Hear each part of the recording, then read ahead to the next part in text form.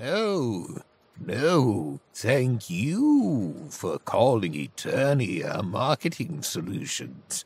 Have a great rest of your day. I swear every year they get dumber. Oh, and speaking of dumb, Can't we make business casual a bit more breezy?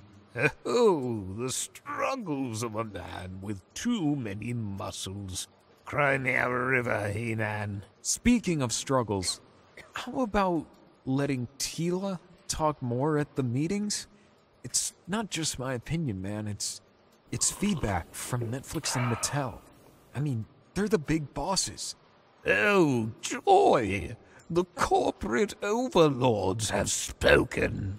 Well, I suppose they also want me to stop cackling maniacally during lunch breaks. Exactly.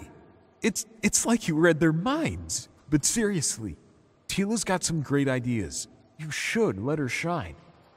Oh, He-Man, advocating for Teela's voice in meetings. Trying to score romantic brownie points, are we? Well, Skeletor, if you knew anything about relationships, you'd understand that supporting your partner is just good practice. Uh, Fine, fine. Just stop with the PSAs and the advice. Jeez, we left that behind in the 80s. Sure, Skeletor, you're a real softy under that bony exterior. By the way, catch you next week during the new episode of Revolution. Maybe we'll see if my romantic brownie points pay off. Until. Oh, oh, stop it. I said we left that behind in the 80s. Oh.